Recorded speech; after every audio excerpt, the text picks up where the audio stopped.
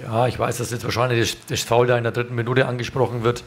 Ähm, aber ich habe gerade mit ihm gesprochen, habe gesagt, Buh, war, war schon faul. Ne? Er sagte, ja, Trainer, aber äh, ähm, naja, meine, er, er, wollte, er wollte sich auch dementsprechend schützen. Er sieht den Spieler kommen, hält den Arm raus, aber trotzdem brauchen wir darüber reden, dass es, ich weiß Jürgen, dass du da jetzt, Globo, dass du jetzt da anderer Meinung bist, aber letztendlich hat er auch gesagt, er war lange nicht auf dem Platz gestanden. Wir wissen, dass er gerade mal ein paar Tage auf dem Platz gestanden ist und die Koordination sicherlich auch noch fehlt, aber Absicht war das mit Sicherheit keine.